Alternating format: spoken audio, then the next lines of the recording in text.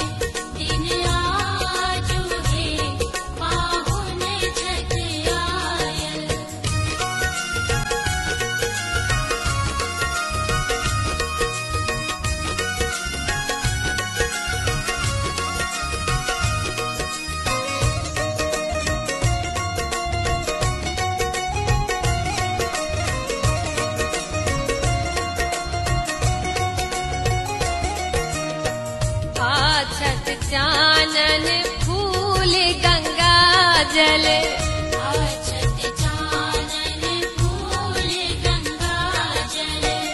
बेली चमेली तो डाला डाजल